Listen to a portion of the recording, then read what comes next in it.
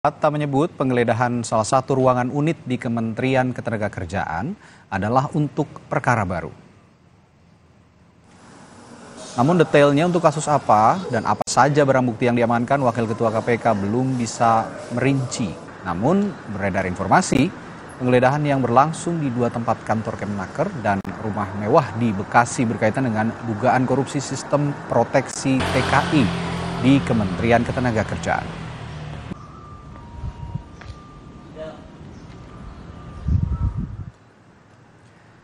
KPK menggeledah salah satu ruangan di kantor Kementerian Ketenagakerjaan di Jalan Gatot Subroto, Jakarta Selatan. Penggeledahan berlangsung sekitar dua jam dari Jumat siang hingga sore hari.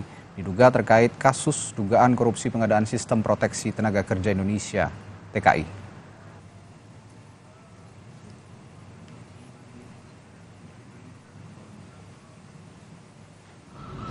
Selain di kantor Kemnaker, tim penyidik juga menggeledah sebuah rumah di perumahan Taman Kota Bekasi Timur, Jawa Barat. Usai penggeledahan, petugas membawa dua koper dari dalam rumah. Saat petugas keamanan ditanya kepemilikan rumah mewah ini, petugas hanya mengatakan yang tinggal adalah orang baru.